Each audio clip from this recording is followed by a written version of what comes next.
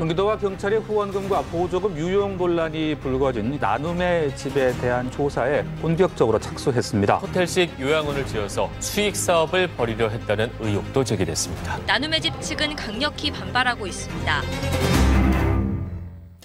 그제 서울 종로구 옛 일본 대사관 앞에서는 여느 때와 같이 1440차 아, 수요 집회가 열렸습니다.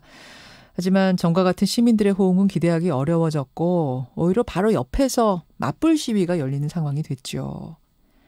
이렇게 30년간 유지되어 온 일본군 위안부 인권운동이 지금 기로에 서 있습니다. 이용수 할머니가 정의연에 대한 회계부정 의혹을 제기하고 그 후로 정의연과 윤미향 당선인에 대한 각종 의혹이 쏟아져 나오더니 이번에는 대한불교 조계종이 운영해온 나눔의 집마저 후원금 운용 문제를 두고 내부 고발이 터져 나왔습니다. 직원들은 왜 내부 고발에 나설 수밖에 없었을까요? 의혹을 제기한 분 직접 만나보죠. 나눔의 집 김대월 하계실장 연결이 돼 있습니다. 아, 실장님 안녕하세요. 아, 네, 안녕하세요. 그 나눔의 집에는 위안부 피해 할머님이 한 여섯 분 사신다고요? 네, 지금 여섯 분 생활하고 계십니다. 여섯 분. 실장님은 그곳에서 일하신 지 얼마나 되셨어요? 저는 2018년 7월 1일부터 일하기 시작했어요. 아, 예. 직접 몸담고 있는 곳에 대해서 이렇게 내부 문제를 공개적으로 고발한다는 게 이게 쉬운 일이 아닌데 네. 그럼에도 불구하고 필요한 일이다 판단하고 결심하신 어떤 결정적인 계기가 있습니까? 음, 크게 두 가지인데요. 네. 하나는 할머니한테 온당치 않은 대우를 한다는 거. 또 하나는 할머니들을 위해서 후원금을 보내준 국민들이 기만한다는 거. 음. 이두 가지에 내부 고발을 하게 됐습니다. 할머니들을 위해서도 또 성원을 보내준 후원자들을 위해서도 이대로는 안 된다라는 생각. 그렇죠. 그 생각을 오랫동안 해 오시다가 결정적으로 아 이건 진짜 못 보겠다라고 결심하신 뭐뭐 어떤 사건 같은 게 있어요? 네, 있습니다. 그 공사를 한다고요. 네. 그러니까 원래 1층이 있고 2층을 중축을 하는데요. 네. 1층을 공사를 하려면 할머니 방에 있는 물건들을 다 밖으로 빼야 됐었어요, 원래. 아하. 근데 제가 계속 저- 항의를 했거든요. 만약, 만약에 그럴 거면 공사를 할 이유가 없다. 할머니 방이라는 게 역사적으로 얼마나 중요한 가치가 있는데 공사를 하더라도 그 공사를 만약에 할 거면 저 방을 훼손하지 않는 상태에서 아하. 공사할 수 있는 방법을 찾아보자 이렇게 해서 알겠다고 했고 할머니 방에는 천장에 비닐을 씌워서 할머니 네. 물건이 훼손되지 않게 해놓고 공사를 하겠다. 예. 근데 방을 치운 전날까지도 안 치운다고 하고 그 다음 날에 저 몰래 예. 이 운영진이 방을 다 치워버렸어요. 근데 그 치우고 나서 바로 공사가 됐으면 이해라도 하겠는데 네. 그 치운 상태에서 한 두세 달이 흘렀고요. 그리고 그러니까 그리고 그 물건을 다 야, 야외 주차장에다 빼버렸어요. 비닐, 어. 비, 비닐 하나 씌우고요. 그것도 장마철이에요. 예. 그 너무 화가 나가지고 그때 직원들이 저 물건을 컨테이너를 사서 옮기겠다 음. 이렇게 얘기를 했는데 음흠. 그래서 그 다음 날에 컨테이너를 부르려고 했는데 그날 밤에 비가 와가지고 물건이 다 젖어버린 아이고, 거예요. 그래. 이건 이 이건 정말 아니다. 이제 아니다. 이렇게 네. 결심을 하게 된 계기. 네, 그래서 이 사람들이 할머니에 대한 제가 느끼기에는 할머니들 관리해야 되는 대상 이 사람이 크게 불만 불만도 없어야 어. 되고 크게 나한테 민원을 제기하지 않아야 되는 상황에서 아하. 근데 할머니는 이제 보통 중국에서 계신 할머니도 있고 그때 해방 후에 돌아오셨다가 나누어져 예. 오신 할머니들가 있는데 예. 비율이 한 절반 정도 돼요. 예. 근데 아 중국에서 이제 힘들게 사셨기 때문에 아하. 여기 한국에 오셔서 여름 삼시세끼 밥 주고 여름에 안, 추, 안 덥고 겨울에 안 추운 것만으로 행복하신 거예요 할머님들은 그걸 만족하시는. 그 어렵게 사시 정말 어렵게 사시던 분들이세요. 중국에서 할머님들. 그렇죠. 왜냐하면 해방 이후에 이제 돌아가지 않는 피해자들이 많아지니까 중국에서는 추방을 시키, 려고 해요. 아하. 그 추방의 사유가 뭐 풍기문란이다, 음. 뭐 무녀다, 기녀다 이래서 이제 추방을 하려고 하는데 할머니들 증언에 따르면 예. 내가 이마에 위안부 간판 써붙이고 부모 형제 얼굴을 어떻게 보느냐 그래서 안, 가- 안 오려고 했다는 거예요. 예, 예. 그렇게 해서 안 오려면 중국이랑 결혼을 해야 돼요. 그러면 거리 쪽에 나와서 안 쫓겨나도 되거든요. 아. 그런 그러면 결혼을 해야 되는데 좋은 결혼을 할 수가 없는 거죠. 아. 그런 상황에서 아주 힘든 시집살이를 겪고 생활을 하시다가 예. 여기 오시면 너무 좋으신 거죠. 음. 이게 너무 좋다, 행복하다, 나눔이 없으면 날 죽었다 이렇게 말씀을 하세요. 그래서 할머님들은 후원금 왜 나한테 쓰지 않느냐? 음. 후원금 이렇게 많이 도 이런 음, 불만은 없으셨어요. 별로. 그래요. 근데 보시기에는 이게 뭔가 불합리하다고 보신 거고. 후원금이 얼마나 들어왔어요? 작년 기준에서 한 달에 거의 한 2억씩 들어오더라고요. 어떤 분들이 그렇게 후원을 많이 하셨습니까? 아, 제가 여기 일하면서 가장 후원을 많이 해주시는 분들이 학생들이에요. 뭐 자기들이 뭐 배지를 만들어서 뭐 파, 팔아가지고 수익금을 기부를 하고 정말 학생들이 기부를 많이 해줘요. 아, 아이고. 그런 돈이 한 달에 2억씩 네. 들어오는데 이제 그 돈을 보낼 때는 거기 계신 할머님들이 조금이라도 더 좀 편히 사시라고 치료도 편히 받으시라고 좀 호강하시라고 보내는 돈일 텐데 네네. 그것이 부당 사용됐다는 정황들이 지금 하나둘 드러나고 있습니다. 일단 뭐 네. 경찰 수사는 차차 나오겠습니다만 경기도가 감사한 결과만으로도 나눔의 집 대표이사의 개인 보험금을 후원금으로 납부한 사실이 드러났고 존재하지도 않는 유령 직원에게 급여 5,300여만 원이 나간 사실이 드러났고 이게 전부입니까? 아니면 조사 결과가 나오진 않았지만 목격하신 게 더 있습니까? 그 한 업체가 나눔의 집 공사를 전부 해요. 건설을 할 수 있는 면허증이 없는 업체인데 예. 그, 그 면허가 있는 업체를 한테 하청을 주는 방식으로 해요. 근데 그렇다면 공사비가 당연히 늘어나잖아요. 하청을 주면. 그렇죠. 그렇죠. 그럼 굳이 그 공사 면허가 없는 업체한테 공사를 맡길 이유도 없는 건데 네. 나눔의 집 도로 포장 공사도 그 업체가 하고 예. 그 다음에 영상관도 그 업체가 만들고 어. 생활관 중층도 그 업체가 하고 그러던 와중에 그 업체가 전시도 하게 됐어요. 전시 물품을 만들기 시작했는데 음. 그 견적서랑 전시 물품을 보니까 너무 부풀려져 있는 거예요. 아. 전시 물품은 만 원짜리인데 견적세는 5만 원으로 돼 있는 거예요. 어, 뻥튀기가 돼 네. 있네요. 네, 근데 대부분이 그렇게 돼 있는 거예요. 또 인건비도 한 명이 와서 일하는데 네 명이 와서 일한 걸로 청구가 돼 있고 어, 허. 그 그거가 좀 이상해서 얘기를 했죠. 그 네. 사무국장한테 이렇게 한다. 사무국장 이제 그 저 나눔의 집 사무국장한테. 네, 네. 나 네. 저 사무국장한테 본인이 계약을 했으니 불러가지고 이런 이러한 점이 과청구가 돼 있으니 시정을 요구해라. 음흠. 이렇게 했는데 그 사람이 그럴, 그럴 리가 없다고 자꾸 두둔을 하는 거죠. 어, 조사를 하기는커녕 그럴 리가 네. 없다고 얘기를 해요. 어 그거를 지적하고 또 다른 횡령건도 어떻게 알게 돼가지고 다른 횡령건은 뭡니까? 그 여기 옛날에 일하던 일본인 직원분이 있는데요. 네. 주 이틀이나 3일 정도밖에 근무를 못 했는데 음흠. 급여는 시, 청에 등록을 하니까 주 5일치가 나오는 거예요. 아, 아니 그 이번에 경기도가 감사에서 밝혀낸 유령 직원이 5,300만 원 타갔다는 그 직원이 이 직원이에요? 아니요, 다른 직원입니다. 아니에요. 그러면 그 선생님 그 일본인 직원이 5일치를 다 가져갔어요?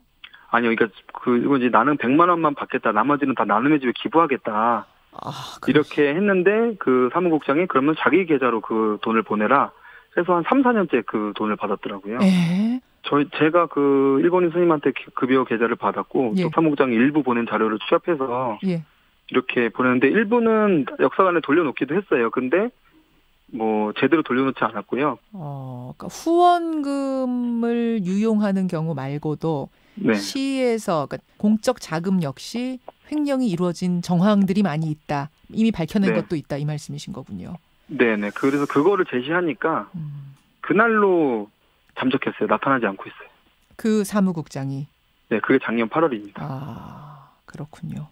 근데 그때 그 사무국장이 그 업체 대표랑 해외여행을 갔다 왔다고 자기가 시인을 하더라고요. 아까 그 문제의 모든 네. 공사들을 한다는 네, 그 네. 업체, 네. 아, 그 업체와의 관계는 지금 분명히 조사 결과 드러난 건 없습니까? 네, 저희는 뭐 알지 못하죠. 이렇게 음. 했다, 이 업체랑 이렇게 했다고만 알지, 음. 그 업체한테, 업체랑 어떤 사이였는지 그런 것까지는 알지 못합니다. 지금 이제 드러나는 것들을 보면 말이죠. 어, 기부금이 어, 총 70억 원이 쌓여 있는데 70억 원을 거둬들였는데 한 네. 번도 등록을 하고 기부를 받은 적이 없다. 이런 것도 드러났더라고요. 네네. 그 이 얘기는 그냥 기부금을 그렇게 신고도 안 한 채, 등록도 안 한 채 모은 다음에 이런 식으로 어느 주머니로 갔는지도 모르게 새 나가는 돈이 꽤 있었을 수도 있겠네요. 네, 그렇죠. 그 사무국장 자리에서 다량의 외화랑 현금이 나왔거든요. 자리에서요? 어디에서요? 책상 서랍에서요. 서랍에서 다량, 다량이라면 얼마나요?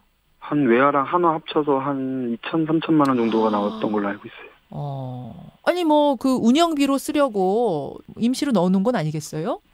시설에는 현금을 가지고 있으면 안 된다고 하더라고요. 어. 그리고 외화가 많이 나왔어요. 근데 외화를 운영자금으로 갖고 있을 리도 없고. 어허. 그런데 저희가 사무국장한테 물어봤을 때는 이때까지 외화가 많이 들어왔는데 음. 그거에 대한 장부가 어디 있느냐. 네. 그 때문에 차- 이때까지 20년 동안 장부를 만들어 놓지 않았대요. 외화가 이런 식으로 성금으로 많이 네. 들어오는데 한 번도 장부에 기록한 적이 없다. 네, 외화에 대한 장부가 있냐니까 없다고 본인이 얘기를 하더라고요. 분명히 그 말씀을 들으셨어요. 네. 그리고 그래서, 책상에서 외화가 나왔고. 네, 그래서 그 외화는 어떻게 처리를 하느냐라고 음. 물었더니 들어오면 그때 그때 다 은행에다 넣는다 이렇게 말을 하더라고요. 장부에 쓰지 않고 넣는다. 네, 근데 그 자리에서는 2014년에 후원해준 외화도 나왔어요. 그 어떻게 알아요? 2014년 외환지? 봉투에 써 있어요. 그 일본인 어떤 선생님이 후원했는지와 아, 그 여- 연도와 이런 게 봉투에 써 있더라고요. 봉투를 뜯지도 않고 거기 넣어놨더라고요. 세상에. 알겠습니다. 알겠습니다. 아, 그 과거 자료들을 뭐 숨기고 지우고 이, 이런 작업들도 이루어지고 있었다던데 그건 무슨 얘기예요? 그한달 전에 또 이 사진 이 사진에서 두 명을 채용을 했습니다. 음, 직원을요? 네. 예, 예, 근데 그 직원들이 와서 이제 그 사무국장 자리 있잖아요. 예. 그 방. 사실 그 방에 지금 문제가 되는 서류들이 그 방에 좀 많이 나왔거든요. 그 잠적했다는 사무국장. 예. 네네네. 그 방, 뭐, 가구라든지 책상이라든지 위치를 다 바꿔놨더라고요. 그래서 그 방에 혼자서 근무를 하고 있어요, 지금. 어허. 근무를? 하, 근무만 하는 건 아닐까요? 뭐, 모르죠. 근데 CCTV를 또 이렇게 종이로 가려 놓으셨더라고요. 어. 그래서 뭐 저희가 뭐 증거를 인멸했다, 뭐 이렇게 말할 수는 없지만, 뭐 하여튼 그 방에 지금 계속 계신다. 알겠습니다. 지금 운영진 쪽에서는 어, 네. 후원금에 대한 회계 감사 받겠다. 우리는 뭐 문제 없다 이런 입장인데. 유령 직원한테 5,300만 원 주는 게 할머니를 위한 건 아니잖아요. 음, 저는 궁금한 건 있어요. 왜 바로 드러날 거짓말을 하시는지가 좀 그- 궁금하긴 해요. 왜 그러시는지. 금방 드러날 것을 조사하면 다 나오는 것을 왜 네. 거짓말을 이렇게 하는지. 지금 할머님들은 상황이 이렇게 된 거 알고 계십니까? 할머님들이 워낙 고령이시다 보니까 인지가 명확하신 분이 두 분밖에 안 계세요. 그러세요. 어느, 어느 정도 고령이십니까? 뭐 제일 나이가 많으신 분은 100세가 넘으셨고요. 하하. 평균 연령이 93세가 넘으시니까 예, 예. 네. 지금 상태에 대해서는 한 분만 알고 계세요.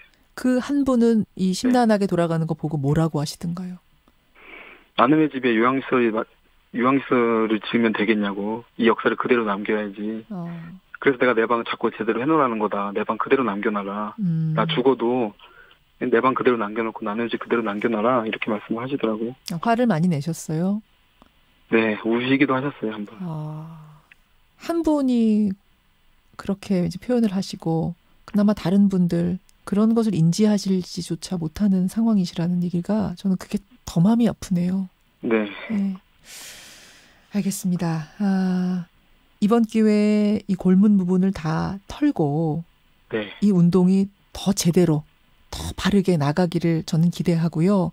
네. 아, 이 상황을 세상에 알린 용기 내서 알린 하계 실장님 국민들께 꼭 하고 싶은 말씀이 있으시다면 어, 이렇게 문제가, 나눔의 집 이렇게 문제가 돼서, 이 위안부 문제, 위안부 운동 전체를 폄훼하지는 않으셨으면 좋겠어요. 이 문제는, 나눔의 집 이사진과 운영진이 나빠서 이 문제가 벌어졌지만, 음, 나눔의 집이 뭐 어저께 생긴 단체가 아니잖아요. 예, 20년 예. 동안 제대로 된 관리 감독을 했으면 이렇게까지 되지 않았을 거거든요. 음, 지금이라도 제대로 된 관리 감독을 하고, 이 나눔의 집은 할머니 방 하나만 봐도요. 전쟁 피해자의 전쟁 후의 삶, 그 다음에 음. 그 사람들의 인식, 그 다음에 우리 사회가 그들을 어떻게 바라봤는지에 대한 그 시선들이 이 나눔의 집에 오면 다 확인할 수가 있거든요. 그대로 보전이 잘 돼야 네. 한다. 이 말씀을 꼭 하계 실장으로서 남기고 싶으신 거군요. 네, 네, 중요한 가치입니다. 정말 우리 사회에. 실장님, 갑자기 이런 네. 생각이 드는데 성금 내겠다고 여기 와서 막 그 고사리 같은 손으로 성금 내놓는 학생들 보고 또 뭐 외국인들 보고 하면은 그때마다 마음이 어떠셨어요? 어, 저, 저희 직원들 다 똑같은 마음인데요. 후원해주시면 후원해주셔서 감사합니다. 할머니 위해서 쓰겠습니다. 이렇게 말을 해요. 예, 예, 근데 사실 할머니 위해서 안 쓰니까. 예.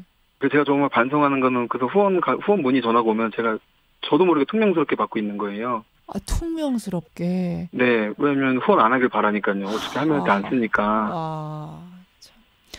그래서 그, 그래서 이유, 이렇게 직원들이 다 뭉쳐서 이렇게 공익제보를 한 이유가 거기에 있어요. 후원해주신 분들은 계속 밝은 표정 와서 할머니한테 써달라고 돈을 주는데 음, 그돈 할머니한테 쓸 수 없으니까. 그때마다 죄 짓는 기분이셨겠네요. 네, 너무, 너무 죄 짓는 기분이에요. 그게 너무 힘들었어요, 사실 진짜. 후원하지 마세요라고 속으로 외쳤다는 이 말이 참 기가 막히네요. 기가 막힌 네. 현실이네요. 알겠습니다. 아, 이렇게 용기 내주셔서 감사드리고요. 어, 네. 일이 잘 풀리기를 깨끗이 털고 가기를 바라겠습니다. 고맙습니다. 네, 감사합니다. 예, 나눔의 집 하계 실장입니다. 김대월 실장이었습니다. 김현정의 뉴스쇼는 청취자 여러분의 참여로 이루어집니다. 트위터, 페이스북, 레인보우 게시판, 그리고 단문 50원, 장문 100원의 유료 문자 샵 1212, 우물정 1212 통해 참여하실 수 있습니다. 김현정의 뉴스쇼 여러분과 함께 만듭니다.